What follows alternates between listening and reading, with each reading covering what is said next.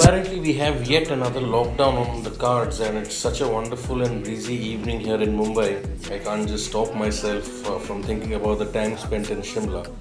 Moving on to Mall Road now, I wasn't sure what to expect of Mall Road because I'd already been to one Mall Road before in Darjeeling, and I thought it would probably be the same. But uh, first thing that hits you when you enter Mall Road is this wonderful historic sort of uh, location uh, with old buildings, uh, small marketplaces, and this was March, but it was still very nippy, very very wet. And uh, if you're into shopping, there are some Kulu shawls that I've heard over there, which are very good and authentic. So, of the things that catch your attention immediately is the Christ Church. I mean, it's a towering structure and it's almost like walking into a film set and the sight of the flag waving. There were still people around, but it was the comfortable kind of crowd, the crowd, that kind of crowd you like, you know, not too chock a block.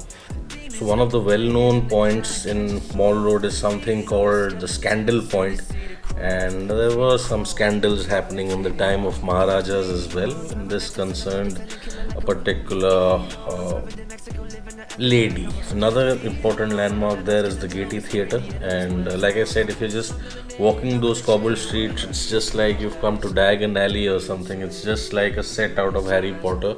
All of a sudden, bang! As you're walking, there's this uh, space in the in the wall, and there's these stairs going upstairs. I mean, I don't know where. The next trip I'm there, I'll try to explore what's there on the other side.